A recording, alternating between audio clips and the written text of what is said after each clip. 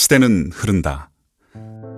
사람은 자신의 삶을 통해 시대를 지나간다. 가버린 뒤에 돌아보지 않으면 사라지는 것들이 있다. 일제강점기의 거센 바람은 이 땅에 살던 사람들의 삶을 송두리째 뒤흔들었다. 흩날리는 것들에겐 이름이 없었다. 당시 한반도에선 전국적으로 도굴이 행해졌다. 그렇게 빼앗긴 문화재들 수만 점이 다른 나라로 무력하게 흘러나가고 있었다. 1906년 종로에서 대부호의 아들로 태어난 전용필은 어린 시절부터 책 읽기를 좋아했다. 세상을 떠난 부친으로부터 많은 재산을 물려받은 24살의 청년 전용필은 서화가이자 지식인, 독립운동가였던 위창 오세창 선생과의 만남을 통해 무엇을 하며 살아야 할지 깨닫게 되었다. 추운 겨울 깊은 산 속에서도 얼지 않고 흐르는 물.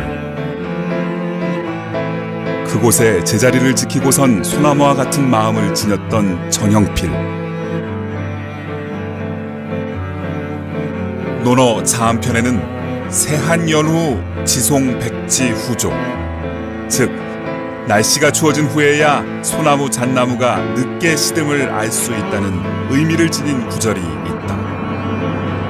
오세창 선생은 전영필에게 산골물 간자와 소나무 송자를 넣어 간송이라는 아호를 지어 주었다. 그러나 이 땅에 이름이 없는 시대였다. 세상에 자신을 드러낼 수 없던 시대였다.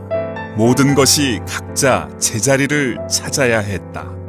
우리가 어떻게 우리 자신일 수 있는지는 스스로의 삶의 궤적으로 증명할 수밖에 없었다. 간송은 자신의 재산을 모두 팔아 삼국시대부터 조선 근대에 이르는 작품들을 수장했다. 자신을 버림으로써 차마 버려둘 수 없었던 우리 문화의 가치를 지켜냈던 것이다.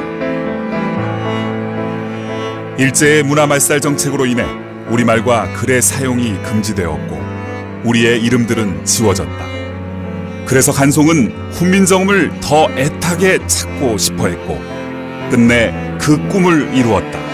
간송은 훈민정음을 수장품 중에서 최고의 보물로 여겼다. 한국전쟁 당시 피란을 갈 때도 품속에 품었고 잠잘 때는 베개 속에 넣어서 지켰다.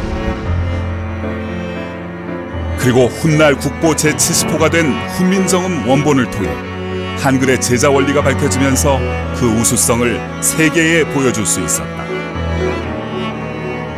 그의 나이 33세였던 1938년, 간송은 우리나라 최초의 살인미술관을 설립했다. 보화가 빛나는 보배를 모아두는 집이라는 뜻을 지녔다. 이곳은 현재 간송미술관이 되었다. 후손에게 우리의 찬란한 문화를 고스란히 보여주고자 했던 간송의 뜻이 이루어진 순간이었다.